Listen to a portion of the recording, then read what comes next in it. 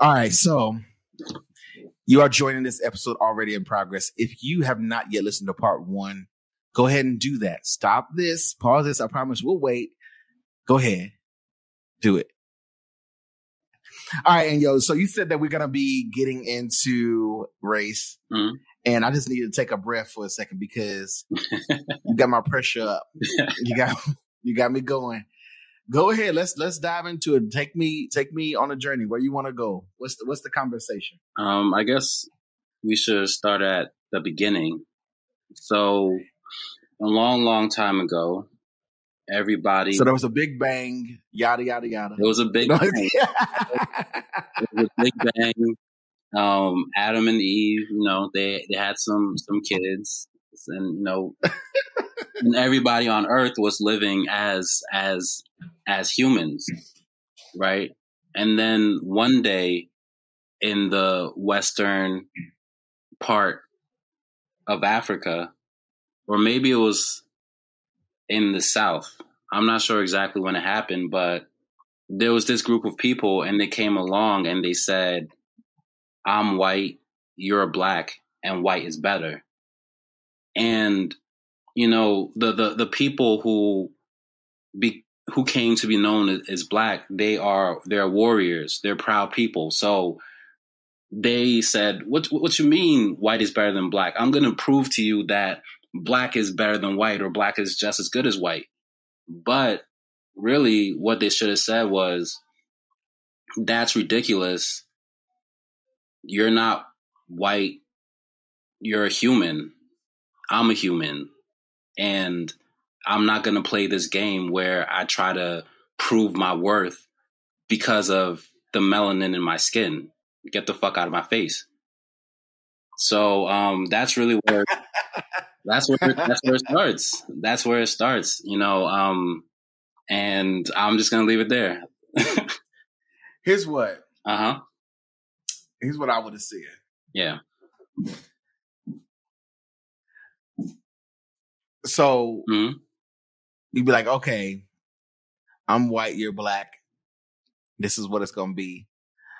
First of all, I'm like, okay, we're neither of those things, but we are different. Mm. Here's the thing. Here- Here's here's what I feel like when it comes down to the the root of race, this contrived sort of It's You know, social construct. fiasco, right? Um, when it comes down to race, hmm people people you know hate the the differences. That's that's really what it comes down to. Mm. instead of saying hey we're different and let's explore that or you know you do this and i do this but that's cool right? Hmm you you you eat this and i eat that oh cool and just leaving it Right. right? Hmm you don't season your food and i do oh cool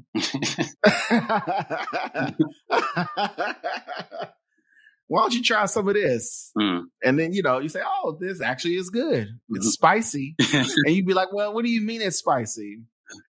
it's just salt, nigga. the fuck? But, you know, so, so that's really the issue at the root of it all is like, instead of you celebrating or exploring those differences and appreciating them, hmm you immediately be like, oh, no, that's different. Yeah. That. and you you you and that's easy to do hmm that's that's the, that's the thing it's human nature it's easy to be like i don't know i don't like that or i don't know what that is It's human and nature. it's almost All right. So it's human nature Uh-huh. it's when i say when i say human nature Yeah. it's it's human nature to to see something that you're unfamiliar with yeah. and get cautious Right. meaning you know so if you in the if you in the wilderness and you happen upon hmm a fucking grizzly bear Yeah. you gonna be like oh shit hold on Okay. let me fucking figure out how I'm gotta, you know, I gotta step back Yeah. or this motherfucker gonna go off. Uh, And it's, I mean, it's, it's, just, it's, just, it's a, it's an animalistic trait to okay. be cautious when you're around something that you don't know. I But I agree. as human beings, we have a consciousness where we Right. can say, this is, this is different. Let me be cautious. Cautious being respectful, But right? Here's the thing, though. I'm you a question. Mm-hmm. When did you like first become aware of race? How old were you? Aware of race? Aware of, of race. Like when did you first you, You would have. realized? I mean, you would have. you were black? You would have had been a school child. hmm Do you remember Right. when? Remember when for you? So I don't. I mean, I don't think I remember when. I think it just all for me. It was. al- It always was Mm. Okay. because because I didn't grow up in that area where it didn't happen, you know, or where it was like a whole thing. Yeah. So it it just kind of was a always was kind of thing, Okay. right? So there was a point that you became aware of race because it's a fact that yeah, I'm sure, no child but I don't know what it was. Yeah, I, I remember when I became aware of race. I was in I was in second grade. It was right when I moved back to America from Ghana, and there was this little white boy named Timmy, and we were you know Not- playing outside. Not Timmy. His name was Timmy. Like it was Timmy. I wish- I wish I remember his last name. Um, or it might have been Josh Nussenfeld. I'm not sure. But anyway, uh, we were playing outside, and I think he called me the N word. He said something racial, and I just had this moment where I was just like, because you know, living living in Ghana, and even now to this day, like black isn't black wasn't my primary identity, and if you were if, if you grew up in another country, if you grew up in Ghana, like your primary identity isn't black, but like in the States, your race is your primary identity. So it's just like that's a concept that um it doesn't come naturally to to to people, to humans. And and I asked you about when you first became conscious of it because with kids, like none of them are born aware of race and if you just let kids be kids and play, they'll grow up thinking, "Oh, that's my brother," you know. With Right. Oh. I think okay. I, so because I understand your question, I think really, Yeah. for me, hmm I, I must have I must have been aware early on because Mhm. I was always I was always into trouble hmm because I always like took up for myself or I knew when something wrong was happening towards me Okay. And was it like ra- for racist? Racist? Like, Definitely. wow. Yeah, because you're you're from the south, so you definitely. So It. like okay like let's say let's say for an example let's say for example so like if i was a kid Mhm.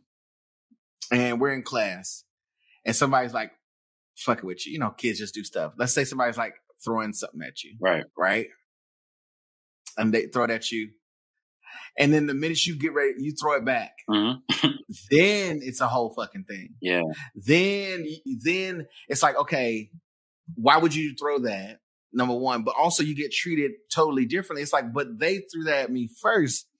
And Yeah. you don't you know you, it's like no i don't want to hear that. What do you mean they threw it at you first? You you you know escalate the situation or or you get removed from the classroom or you get removed from the situation or it becomes a whole fucking fiasco because you responded You know to something else. When shit like that started happening to me, that's when I realized like, okay, it's it's because I'm black. Wow. Or it's because you feel like I'm a threat because I'm a I'm a black boy. Damn. Or I, you feel like I'm gonna fucking cause damage because I'm a black boy. Yeah. I was in those situations a lot as a kid. So. Yeah. And and it's crazy because like seventy percent of teachers are white women. So of course you had those situations growing up. Especially especially back then. Yeah yeah. especially back then. Right. These teachers first of all, teachers were old. Uh huh. last I knew, teachers were old. I, I I didn't have my a young teacher until I was like about to finish school, and I and then and then I didn't even respect him because fuck you still, sir.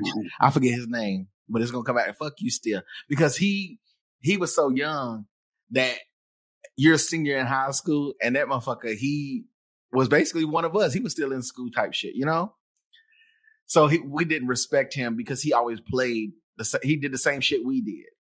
And then, and then all of a sudden he wanted to kind of garner respect. It's like you can't, you don't get respect, buddy.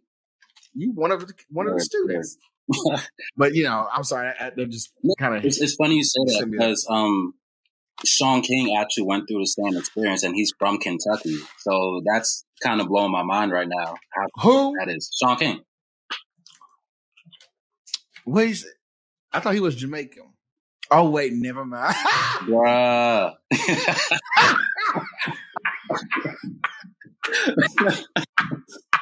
wow. Wow. Okay. Earthshine Kingston. I'm sorry. wow. Okay. Woo! Wait. Yeah.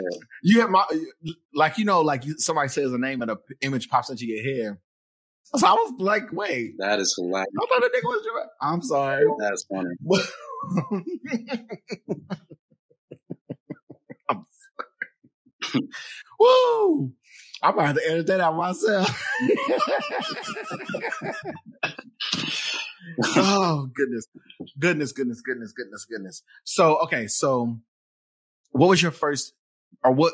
Not even your first, because that's that's hard to say. Yeah. There's so many. But what's one of your significant Mhm. moments where you think you experienced racism, or something that lets you know, you know, you're a nigga, right? Oh yeah. I mean, really, What's one? What's a moment?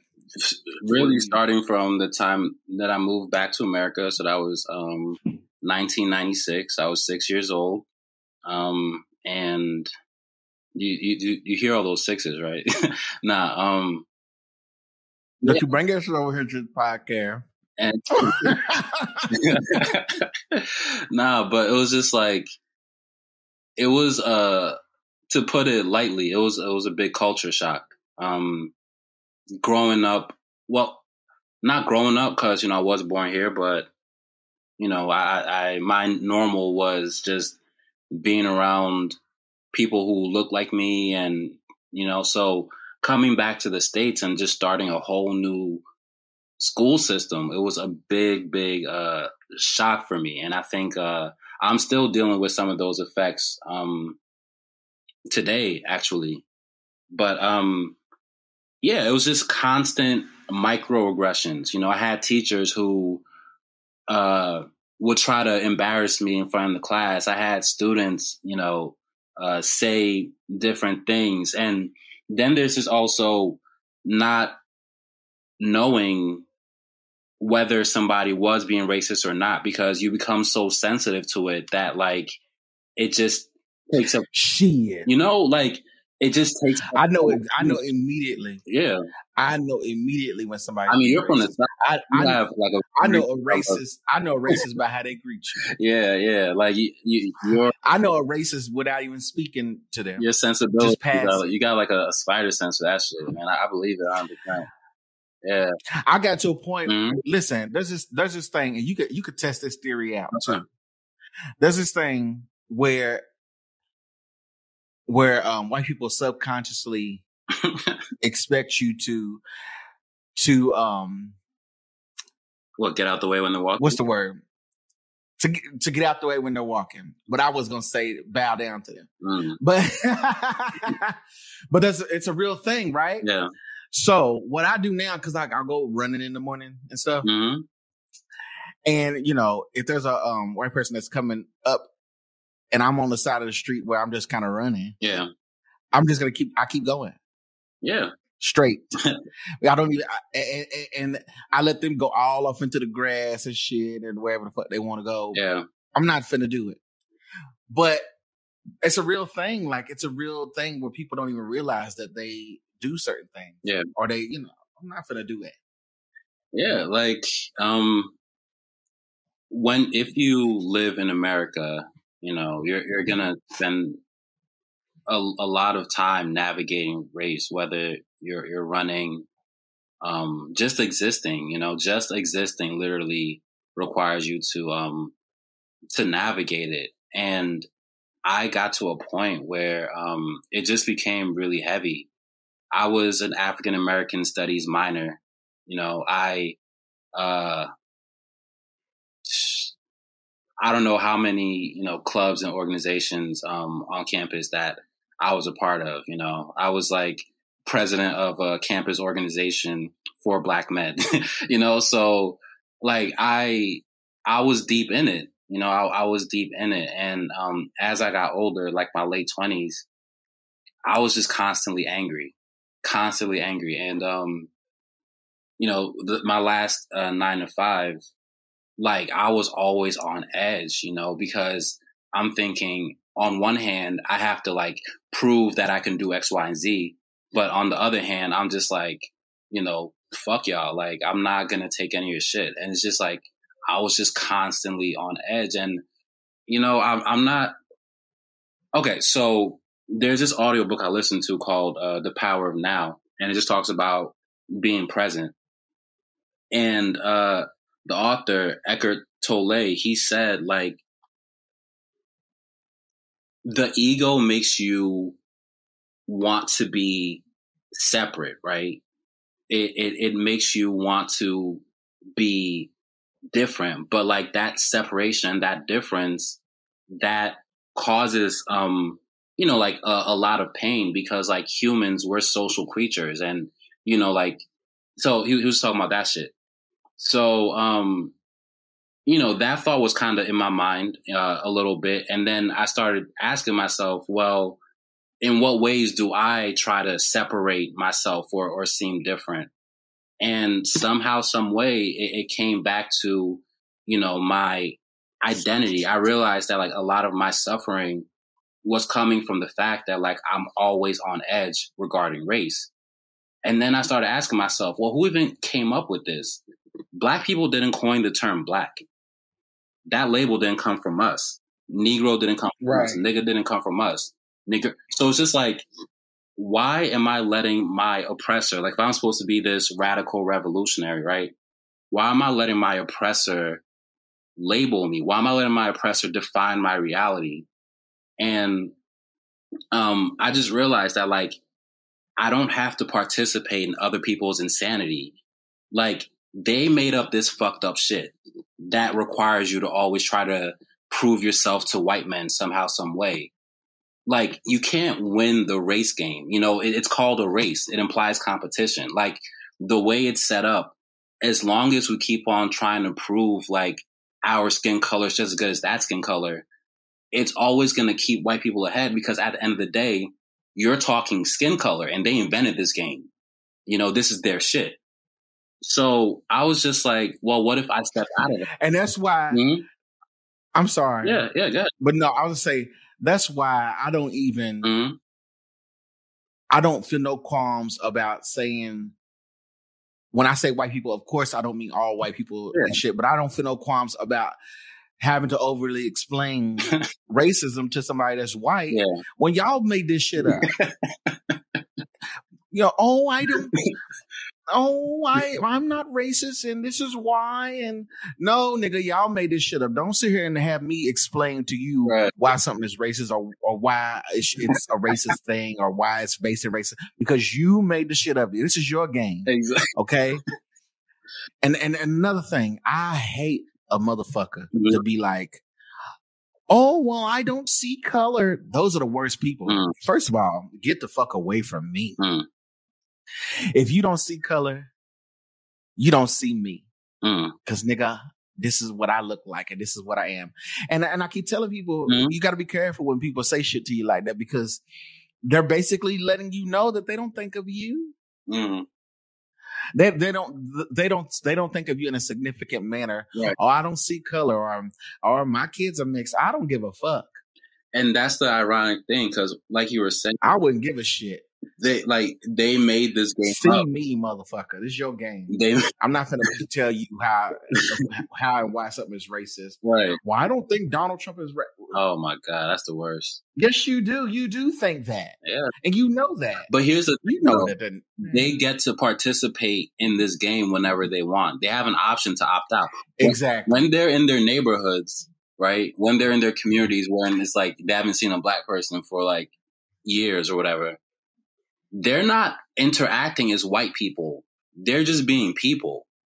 But with us, right. it's like whether we're with each other or with them, we're always interacting on the basis of race. So it's just like they literally took our humanness and they put it in this small box and they're just like, there, that's, that's what, that, that's your reality. And I'm just like, fuck out of here. Like, I'm not, I'm not doing it. Cause it's just like, I hate racism to my bones. Like I hate injustice to my bones. I and I hate it so much that like I'm willing to do whatever it takes to make sure that shit ends. And honestly, I can't find a better way to end racism than you know, and this probably the, the, the shit that, you know, is to get me canceled or whatever, but hey, it is what it is. Like, I can't think of a better way to end racism than black people coming together saying, look, we're going to call ourselves something different and we're going to build our reality around what's on the inside, not around our skin color. Whatever white people are doing, that's fine, that's cool, but like, we're going to build our own identity because like, I just don't think there's anything radical about letting your oppressor define your core identity.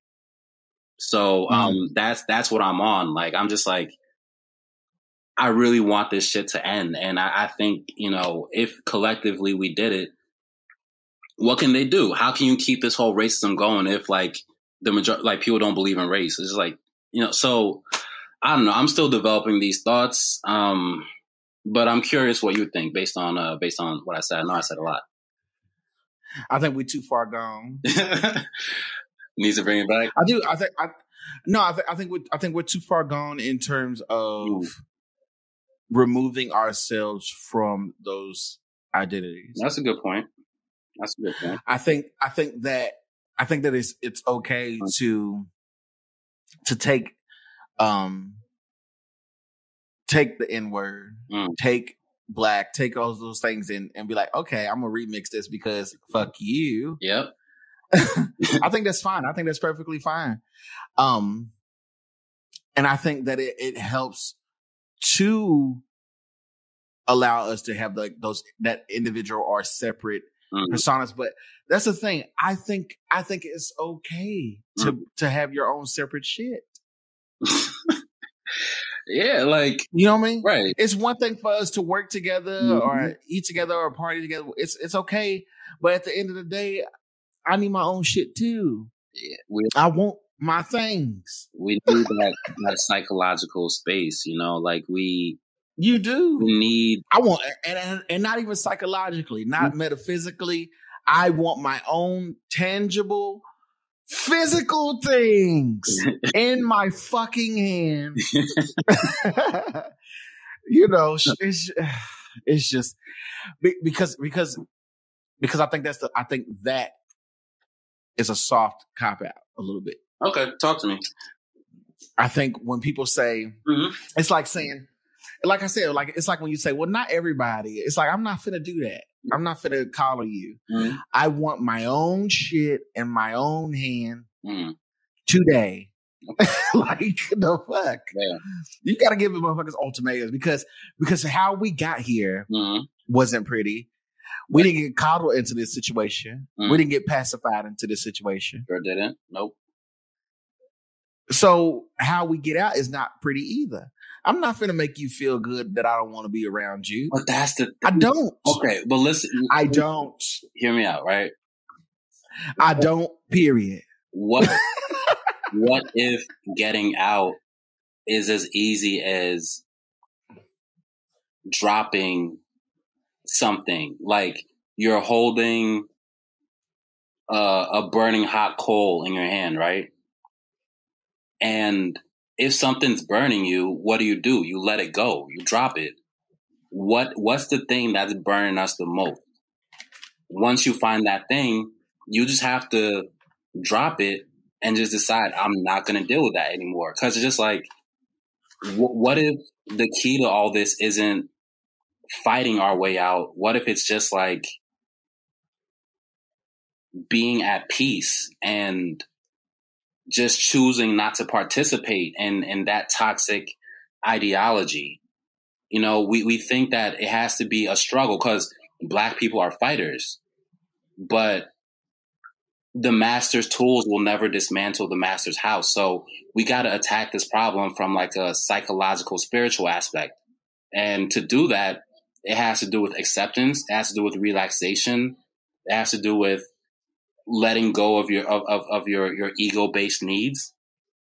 And that might not necessarily be a struggle. That's all i'm saying. So, right, right, right, and and it's like okay, there's an abundance. hmm There's an abundance of whatever it is you need out there. There's there's plenty of it to go around. yeah, You know, and in fact, there's a lot of a lot of um a lot of homelessness, a lot of famine, and a lot of shit that shouldn't even be because there's plenty to go around. yeah. for real, hmm right? And I do agree. I do agree with you to some extent, where it's like, okay, I'm not gonna, I'm not gonna keep arguing with your face. There, there it is. Nobody, nobody got time. Nobody got time. It's I'm not finna, I'm not finna keep going back and forth with you. mhm. I said, but but but then also there's that there's that part of you that's like, now I said what the fuck I said, or you're gonna hear what I have to say about this before I make my exit. Mm. And and I think that's really what is what it's coming down to. Is like, no, acknowledge that you Yeah. admit that you're wrong, Uh huh. and you know that you fucked up. Honestly, I ain't gonna say that. That's, even I won't say Listen, but- no, no, no, just- no, no. You gotta say because I said Mm-mm. some shit that might get me canceled. So you gotta say some shit that might get. They can't cancel me because I this is my own shit. the most they can do is turn the shit off. They can't cancel me. shit. But no, there's very little pride hmm or very little things to be proud of Mhm. if you're a, a white American, Wow. Okay. unless Uh huh. unless you ignore Mm. your history. Wow. There's And very, that's just how I feel about a situation. there's very that's deep, bro. Hey, everybody. So, throughout the conversation that we were having, it seems the the powers that be were hating on us. and Enyo and I ended up having a few technical difficulties, just some shit that I messed up, really. but anyhow, I wanted to come in here and um, apologize for that, but I also wanted to give a segue into the rest of the episode in which we just take some time to switch gears all the way. And Enyo and I talk about his photography uh, career and where he's headed and the goals that he set up. So just enjoy the rest of this episode and take the time to get to know Enyo as a photographer a little bit more. Thank you. Yeah. So my first camera was a Nikon D5600, and once I got that, I uh, actually signed up for an online class and just started practicing uh, photography with uh, my girlfriend at the time. Like I, you know, take pictures of her when we went out, and I always got a good reception. But um, you know, it was just sort of like a thing that I did that I enjoyed. It was something new um, for me to learn, so I was just approaching it that way. So then, COVID hits, and you know everything's everything's shut down. We got to uh, I think it was June. Yeah, so it was June the first the first time that I went out in like months was uh, actually Juneteenth, right? Blackest day of the year. And uh, my friend Synovia, she just invited me to take some photos of her at this picnic um, in Philly. I shouldn't say picnic; that's not actually an accurate term. But I went. Um, I took photos of everybody there. Um, you know, met some cool, cool ass people. Um, like lifelong friends actually, and then I posted the pictures, and the reaction that I got it was it was surprising because you know that was like the first time that I had really done a public event, and I just got a really good reception for the photo. So that was like the moment that I started thinking, you know what, maybe I actually could do this. And over time, you know, the photography just kept on improving. I started booking jobs and um I had a conversation with my family. We used to do a, a prayer every Tuesday um at like eight o'clock and I just told them like, you know, I, I, really think that this whole photography thing, this is me. So uh, I want you guys to help fund it. If you could, you know, buy me a, full frame camera, um, I'll, you know, pay you guys back. But I, I really think this is a direction I need to go go in. And you know, I'm I'm very grateful for my family because you know they really heard me and they were just like, all right, we're gonna support you everybody put in some money and they got me my first full frame camera. That's what I use now. It's a Nikon um, D780, and um, it's not the rest is history because I feel like everything's still being written. But you know, once you have that full frame, you just you can do professional jobs, and it's just a matter of making sure your skills are up to the task. So it's just been a, a an amazing journey because as I've grown in my identity as a creative, I feel like it's brought so many good things um, to my life. Uh, you know, I, the the people I get to meet, the experiences that I, I get to be part of. Um, it's just a very different track than what I was on. I was on the like corporate track, you know. Ugh. You're right. exactly. With let me ask you, with with some of your mm-hmm. some of your work you've done thus far. Yeah. What what are some of the what are some of the things that kind of stand out to you the most as far as what you've done? Or what's one of the like images that you really are proud of? So I think one of my standout projects, it's called You and I. Um, this woman randomly reached out to me on IG and just said she wanted to do a creative shoot with her boyfriend. And um, the entire thing just morphed into this really cool exploration of um, how like couples interact with each other. So it's on um it's on my website like it's it's hard to describe but just the images that came out of that, the the models, um, Remy and Stanley, they just gave everything uh, with their facial expressions, with their their um their posture, and also the location was dope. It was just this wide open field.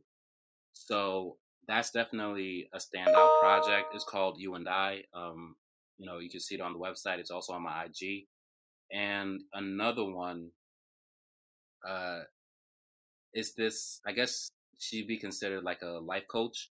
Uh, her name is Epiphany, and um, we took we did the shoot at an abandoned gas station, so it literally looked like a crack house or you know a, a meth lab. but you know the photos that came out of there, um, definitely like some of my favorites. And then of course the stuff that I've been uh, that I took from Ghana, it's just it's just it's it's my best work. Um, so I have an album that's uh, on my website now. It's uh, the photos were taken at Kokrobite Beach. So um, if you ever wonder what a beach party was like uh, in Ghana, check out that album and it'll definitely give you like a feel for it. So yeah, those are those are some of my favorite projects. What is what do you like to um what do you what do you sort of most into shooting? in I'm terms of like yeah. subjects, you know? Do you need do you need a person or are you more environmental? Like what's what draws you in? I think I'm definitely a, a portrait photographer. Um, I like faces. I like making people look good. I like the editing pro- um, process. On my IG, like I barely have any photos of um, nature or, or landscapes and stuff like that. But my photography it's starting to mix with my marketing um, background so i find myself doing a lot more brand photography now um, i'll go to an event and you know like take photos of somebody trying to promote something or i'll do branded shoots where somebody explains their business and then i create a concept to kind of capture what their business is about um, with you know, yeah. video and then um, there's also this journalistic aspect that's you know coming out more now because I was always a writer. Like growing up, that was just something I was always very strong in. And you know, if you take enough photos and talk to people during shoots, it's kind of like you're interviewing them. So um, that's starting to come more in the mix with this free folk project that I'm, I'm dropping. So I'd say that's kind of where I'm at now. It's like part journalism, part uh, part photography, part like brand, you know, brand management. So yeah. If you could, hmm if you're able to, I want you to, I want you to just not even necessarily explain what it is, Yeah. but as detailed as you can be, I want you to paint a picture, if you will, or describe a photo that you're proud of, only using using your words, because you know this is an audio medium. I'll, I'll, I'll leave links to your work and stuff like that, of course, but I want you to kind of because I, I I think it's going to be really interesting to see how you describe something that you're really proud of. Yeah. So if you could describe to me hmm just something that you are really uh, uh, you know just something that you're really proud of and and just kind of describe that photograph Okay. So I'm looking at my page now, trying to see what stands out to me.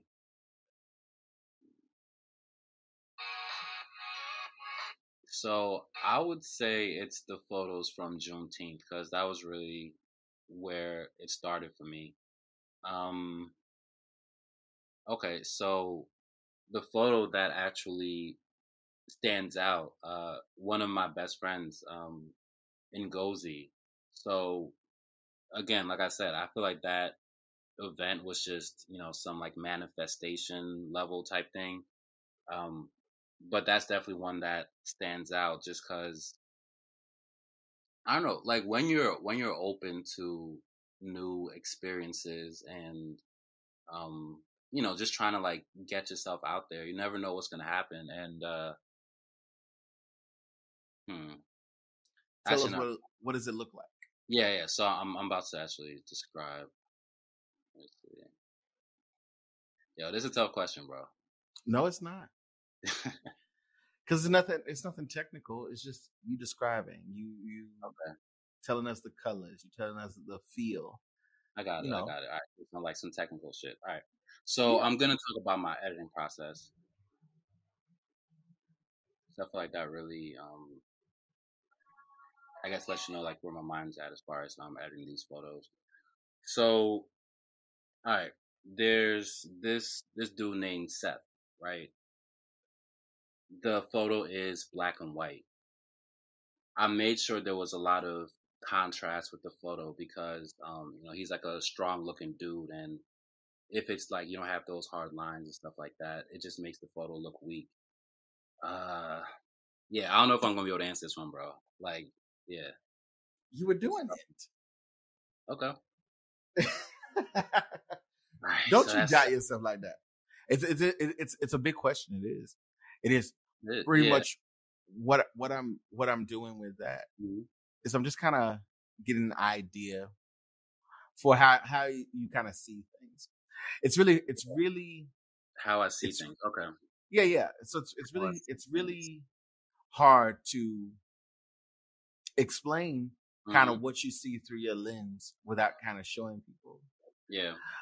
but i always like to try and ask people that I always try to um people who are in the same thing that we do because it's like well what is it that i'm seeing or what is it that that i like about this photo you know It's and really Yeah, go. no go ahead And I was gonna say it's interesting you say that because what I've learned um, recently is that there's two parts to, um, I guess, creating a photo. There's what you see in the moment, and that just comes from experience. Like you do a shoot, you look back at the photos, and you're like, "Damn, I could have done this, I could have done that." But Mm, the more that happens, the more you have these reminders in your head of like what to look for. So when you're in the moment and you finally take that picture that comes out exactly the way you saw it in your head, you know, that's a very special moment.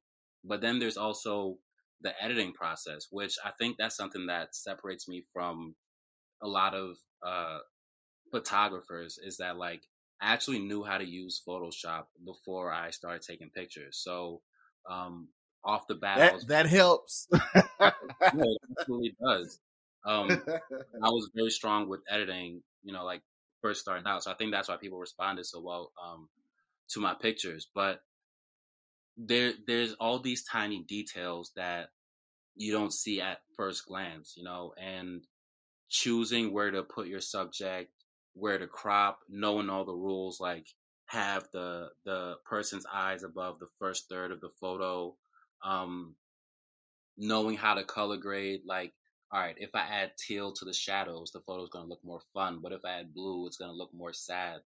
Or this photo feels kind of classic, so I'm gonna add some grain to like really bring that out. Like it's it's just a whole creative um, exercise that that I, I really enjoy, and um, I don't know how other people edit, but like I always try to look at the photo and take out that special like character. There's like a little story inside the photo, and I just try to bring that out with the way that I edit it. So that's good. I like that. I, I was actually kind of escaping a bit. so, what, what, um, what's your dream camera? What's, what, what's the, the goal? Because yeah. a lot of times, you know, they say, you know, you know, your equipment doesn't matter. Mm-hmm. It's more, your skill matters more than the equipment, but we all know if you get you some fucking nice ass shit, you, know, you, you know it's gonna fucking matter. um, I'll tell but you what. I, what's your what's your goal? Like, do you have a camera that you're going for? Um, I definitely enjoyed, you know, starting out with Nikon, but I think I'm ready to switch to something else. So there's that. Um, eventually, I want to be able to afford a, a red cam. That's like a forty thousand dollar camera.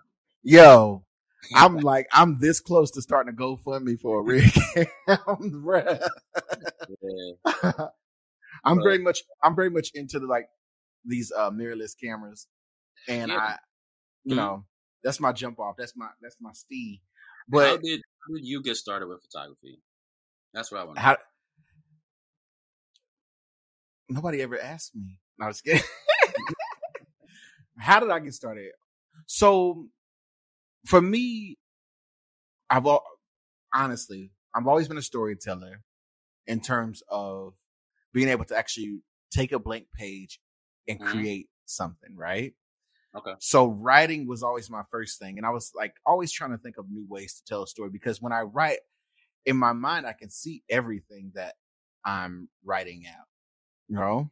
Mm-hmm. And a lot of people don't, don't think in that way. I didn't even know that. I didn't know that a lot of people weren't visual thinkers. You know, I, it's it's it's just something that people have and others don't process that way. But sure. I myself, I'm a visual thinker. So like when you're telling me a story or you're saying certain stuff to me, it's yeah. always an image or something coming into my head. It's always mm-hmm. an idea. I can or see why that question before now. Yeah, yeah. So it's like when when even like right now as I'm talking to you, mm-hmm. I've already in my mind thought of what the room you're in looks like. Okay. right? I may get it totally wrong, but in my mind, I can associate the conversation with what I think the space is. It's so weird, but I, but I always do it. So I've always like written stories. I've always kind of like done that. It's always been easy for me to do. Mm-hmm. So I was mm-hmm. trying to look for other ways to do that. And I, in the early 2000s, you know, that's when everybody was kind of moving away from VHS. They're starting to get the DVD players, right? Mm-hmm. Yeah. And so when DVDs were like starting at the, you know, the turn of the millennium there, that was the big, the big drawing point for DVDs was the special features. Remember those? Of course. And that, so you, so, you know, you could buy two versions of the DVD. You could buy one that was just the movie. You're just going to watch it, whatever. But there's what that one that costs a little bit extra because it has all those special features. And that's where you go in and you get to watch behind the scenes, how this was made, how this came about. And I used to literally pop in DVDs and just go straight to the special features and just kind of see what these people were talking about, you know? Okay. And so for me, I was always like, okay. So then it got me to a point where I was watching movies and shows and I was like, ooh, I know how they did that. or oh, I know how they shot that, or I could see where this decision was was made, or or I watch it now, and I'm like, I'll, I'll like a certain show because of how it's shot, and people will be like, this show sucks, or the writing on it sucks. I'm like, yeah, but it looks good. you know, so there's stuff like that. So I, I kind of got into visual storytelling in that way, or it became a, um, a spark for me at that moment. But I didn't really, I didn't really start taking it serious until an opportunity came up, and I was kind of um, putting together videos and editing things, hmm and someone called me up and they were like, "Yo, I have something for you, and it's a big something. Do you think you want to do it?" And I was like, "Yeah." So I fucking went and did that thing, Yeah. and um, that turned into me being able to kind of have a better understanding of what I was doing. Um, as far as like you know how I want to shoot stuff, how I want to capture stuff, capturing stuff in the moment, but not only um in just photography, because that's one one realm. Um, in cinematography and, and video and you know just catch capturing stuff like that. What camera So starting out or at Yeah. that moment, Right at now? that moment I was at that moment I know what did I have? Oh my gosh. It wasn't a I think I had a Sony a Sony mirrorless at that time, Okay. but I think it was just like it's like an A7000 or something like that. gotcha. So nothing nothing crazy, Mhm. but it was an, it was enough to kind of get the job done. Now I use a Blackmagic. Okay. Uh, I never Yeah. heard about talking about that. Blackmagic. So it's a Mhm. it's a cinema uh it's a little pocket cinema pocket. It's it's my it's my my step stepping stone into a red camera. you got to look it up. No, the Blackmagic. It's a uh, pocket pocket cinema, six K, right? Mhm. If you if you plan on shooting a lot more video, go Which I- for it. I do. So Pocket 6K. Hold on, I'm gonna I, I, I'll I'll send it to you. Okay. It's black. It's Blackmagic. Black Magic is one word, and it's they call it a pocket cinema camera. Yeah. There's a 4K one that's been out, but there's a 6K one that's um kind of around. You could probably find like a used one nowadays, but they're pretty expensive. But anyhow, the um that that's kind of what I work with now in terms of shooting video. It just really gets really good footage in that way. So I haven't shot as much photography as I've wanted to as of late. The last thing I did was working with um working with a musician. I've always I'm always working with people in music, which kind of presents a whole different aspect for um for what Yeah. you're getting with photography. So there's the the live music experience. Mhm. What'd you say? Do you sing? No. I, I mean, I probably could, but I, I don't. But no, I've always been around musicians. So, I, so for me, the biggest thing that I've done was capturing musicians in their element. Um, kind of capturing things in the moment was was really hard because it's one thing, you know, when you're a portrait photographer, it's very um a lot of stuff is very intentional. You may not you may like point and shoot and you might get, you know, not get what you want, but in the midst of those changes or those different poses that you're gonna go for, Yeah. something will come out of it. It's like this is the one I was I, I like, right? Absolutely. Yeah. So so that's a different thing as opposed to when your subject is constantly in motion or when you are um, capturing something and you got to get that right angle, but there's a sea of people in the midst of it. So you got to navigate around and really, you know, figure out where am I going to get this shot from? When am I going to get it? Or, you know, you have, you almost have to get people to, to hear the music through your images. So that that was a lot for me, but it was Mhm. a huge learning curve because I kind of got pushed into it and had to figure it out along the way. And I, and as I kind of did it more and more, I was like, oh, this is it, or this is the one, or this is my angle, or this is yeah. you know that magic moment. Yeah. So I, I kind of approach it in a, in a storytelling aspect. I want people to, you know, they always the old saying is a picture's worth a thousand words. Yeah, Mhm. but I also want to be able to. I don't want you to just kind of be guessing what the words are. I want to kind of lead you and say, Yeah. okay, this is the story I'm telling. there's a thousand words here, but this is the sequence. like I want I want it to be very um very hmm. very very very intentional in terms of what the end product is. So when yeah. I'm color correcting, I, mm-hmm. I tend to, and I, I know it's a lot of, I know a lot of photographers don't do this, but yeah. I tend to, um, oversaturate. Okay. Right. Yeah. Um, a lot of people don't. It really just depends on what you want to go for. But I tend to oversaturate because I I like the vibrancy of that, or like how that feels. Yeah. Um, I I've done like black and white shoots and stuff, mm-hmm. and they they're good, but it's not it's not something that yeah does anything for me. Exactly. Because I always kind of want to bring out something, or I just want to kind of manipulate something. Uh, color correcting, I can do that for hours on you, sure. Oh yeah, yeah, it's definitely. You know, like you know what um I struggle with is actually working fast because I could spend hours on one photo and I know like the professionals that I talk to, they always talk about just making things as efficient as possible. So hell yeah, I'm gonna you tell know. you now. I'm gonna tell you now. The the biggest the biggest thing for me, like I said, I was working with musicians, so I'm working in the entertainment aspect of things. Even though there's an art to it, you you will get booked more likely if you have a quicker turnaround time versus something that's completely stellar. It sucks, but you kind of learn how to find your balance. You, or you know, you learn when to say, okay, that's enough. Mm. that straight hair is not gonna fucking change anything. but I, I've kind of, I've kind of gotten, I think I've gotten a rhythm in that aspect where I've learned to be like, okay, I'm not doing it more tweaks. I'm done. Yeah, yeah, that's enough.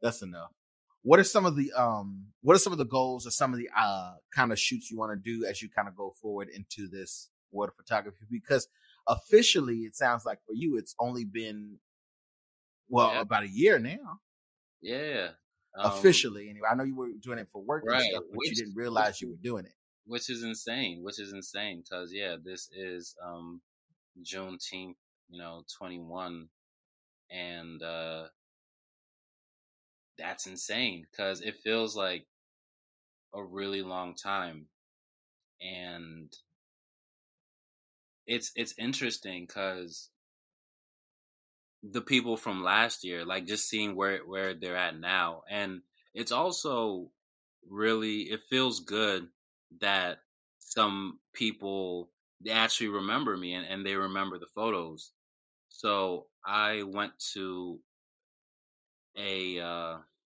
what would you call it?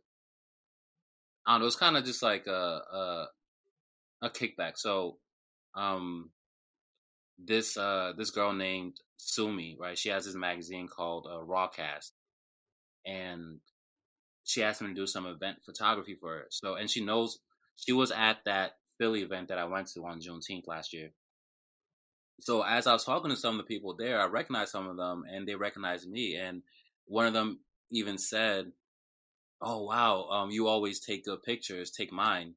And that was such a huge compliment to me because I never thought that this will get to a point where people actually like remember my work. You know, that's I feel like a, a very special moment in every photographer's life when it's like, oh wait, people actually like know my work. So, um, but back to what you were saying, I it really just hit me right now that it it has only been a year. so yeah, kind of wild. Yeah, that's quite a bit of progress, and and so it's still fresh for you because you still have a, a lot of you have a lot of, of ways it can go. You know, I still, I still I still got plenty to learn, but the thing I'll say is that once you are operating within where your gift is, it's kind of like a fish being dropped in the water and just like knowing how to swim. I I know there's still like a lot of technical things that I have to to learn, but yeah. I feel like the core is is there because this is like who I am. You know, like I, I'm a creative, so when I have to learn something or do something new, I'm able to navigate it just in in a way that flows rather than having to like fight, you know, to to make something happen. So, um yeah, that's that's something. Listen, I I I definitely wish you the best because I mean, it's like I said, it's just it's such a young journey so far, but mm-hmm. you've already kind of, you know, captured some really good shit already. So it, definitely don't stop. And then you get to you get to um the more you go to uh, Ghana and the more you shoot stuff, mm-hmm. you know, abroad, then you get to tell people you're international photographer. yeah, I can say that right now. you know, you kind of put a different twist on it. the more people I work with, I, I, have a quota. So the more people I work with, eventually I'm going to be like, oh, so I'm a celebrity photographer. I'm going to say that. There you know, yeah, you just gotta, you know, put a little spin on it. Right, right. Overall, I want to say I, I, definitely enjoyed talking to you. I, I honestly I could keep going, Same, but I, nigga, I got to eat. Yes. Dang, I'm starving. Oh shit! Oh shit! But we definitely we definitely got to figure something out because everybody knows I got to get out of here. I got to get to Ghana, and I gotta I gotta figure out because I ain't trying to go. I ain't trying to go to you know to fake Ghana. I ain't trying to just be like, oh, I'm a tourist and this is the. I'm trying to see some shit. I'm trying to hear some shit or or be in a conversation. I don't know what the fuck somebody's saying. Listen, you're gonna get that and more. You know, you just gotta, gotta, take that leap, and there's gonna be people there to help you. Um, Ghana is oh, a very friendly country. Everybody literally wants to help you. So whatever you're looking for, it's gonna manifest out there. Because here's the crazy thing. This is the last thing I'm gonna say. I had all these ideas that I thought would happen 10 years down the road. Like the whole idea for free folk. I thought that's something I'd be doing in like five years. As mm-hmm. soon as I got to Ghana, like all the pieces started falling into place as far as like people to meet, you know, um, people to like take me around and and just even running into random people on my very last day in Ghana, right? I went to get some food. I was with my cousin. Shout out to Selassie, and I ran into this um, American girl. Her name is uh, Janera, and you know we got to talking, and she invited us to have lunch with her, and all these people showed up, like literally the people that I needed to meet in order to I guess take the next next step. They all literally just showed up to lunch, and I was able to network with them and you know get the information that I needed and, and make the in last one in one place in one place on my last day. So you know I don't know what to call it, what to label it, but um, I just feel like people need to go and, and, and experience that energy, you know. Um, and last last thing, that's what free folk is about. It's it's an immersive experience. This, so, this nigga's this nigga ain't got, got no last thing. I'm gonna say one more thing, and, well, and on top of that, and, and one lastly, and uh, second of all, and, by the way, uh, you you like a you like an infomercial, but wait, there's more.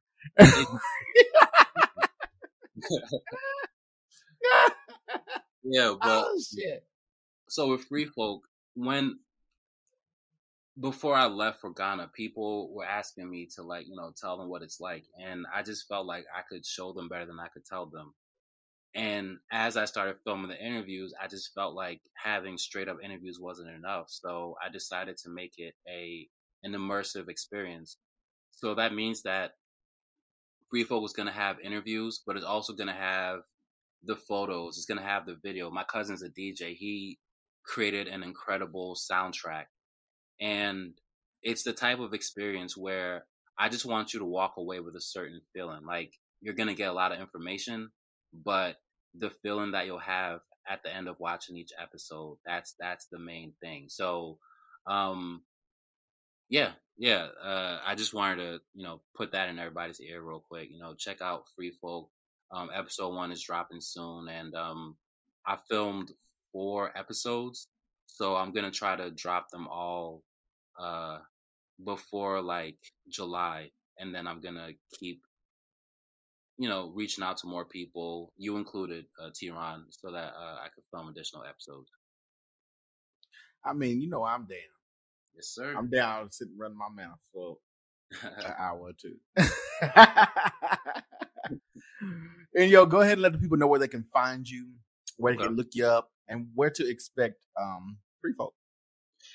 Yeah, so thank you for having me. I had a really great conversation. It's actually like my first podcast interview, so I really um appreciate you having me on. Like, I, I do really take people's podcast virginities on this program. so um no, that's that's a, a, great niche to be in. Honestly, we really gotta talk some business shit after this. But all right, so um you know really grateful to to be on here. Um you can just find me on IG. Type in Enyo E N Y O, and you should see uh a page that pops up that says Enyo Creative Director. I have like a bright green profile picture, so you can't miss it. And um, from my IG, you can get to my website where you can view, um, you know, my gallery. You can, you know, schedule a shoot, uh, whatever you want to do. So yeah, that's it. All right. And y'all wore me out, y'all. and you brought the heat today. Listen, you know where you can find us. You can go ahead and look us up on the internet, all over the social medias. That's ubiquitous blacks. Everywhere you can find it. If you can't spell it right, Google will correct you. Okay, just sound it out. You bit, you can, you get it. You get it. Sound it out. and as always, I've been TeaRon. You can find me all over the social medias at, at TeaRon World. You can also email us, email us um, questions, just comments, letting you know that you're enjoying what we're doing. If you have any ideas, any questions, anything you want to do, uh, if you want to be a guest on the podcast, um, et cetera, et cetera, et cetera, the list goes on. If you are following us on Apple, leave a review. And y'all know I don't like that, that shit. That's not five stars. Click five stars, leave a comment, and then I will read it on the show. I don't have any queued up, but we're going to be having a special episode that's going to be uh, being worked on here lately. I'm just trying to compile everything, and it's going to be all listener email, you know, comments and shit. So get your shit read on this program. And honestly, I may have you on. I may kind of give out a prize or something. I don't know. I haven't decided yet. Okay. So you probably have to catch me in Ghana and see what the fuck we going. Yo, you're coming. But I'm gonna. I'm, I'm trying. I'm, I'm trying to work it out. I promise you. I'm telling you. Listen, we're gonna go, but before we do, I need you to know that whether you are black in Port Harcourt, Nigeria, hmm. whether you're black in Ghana, Remember this. We are black everywhere. Together. Right? Everywhere? As everywhere as fuck. That's good, man. That's good. that works for me.